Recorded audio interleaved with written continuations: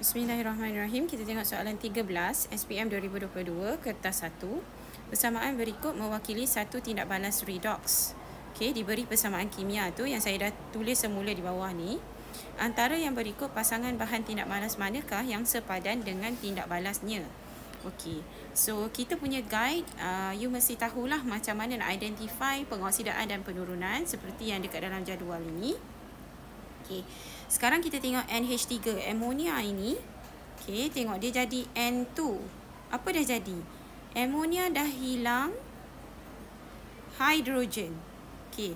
So kalau hilang hidrogen, ammonia mengalami pengoksidaan. Okey, ammonia mengalami pengoksidaan. Okey. Manakala kuprum 2 oksida ini, tengok kuprum 2 oksida, dia jadi kuprum sahaja.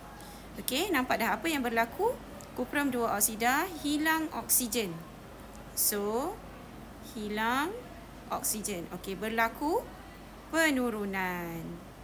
Ha, jadi, jawapannya adalah amonia mengalami pengoksidaan dan kuprum 2 oksida mengalami penurunan. Okey. Dari segi ejen, ha, sebab B tu ada dekat situ kan? Dari segi ejen uh, tu, bahan yang mengalami pengoksidaan dalam kes ini amonia dia sebenarnya ejen penurunan. Okey, manakala bahan yang mengalami penurunan dia sebenarnya ejen pengoksidaan. Jadi option B itu terbalik. Ha, sebab tu option B itu salah. Okey. Ha, option B ni terbalik. Alright. Ha, C dengan D memang dah salah lah kalau tengok uh, dia punya uh, option jawapan tu. So jawapan kita adalah A. Okey, sekian terima kasih.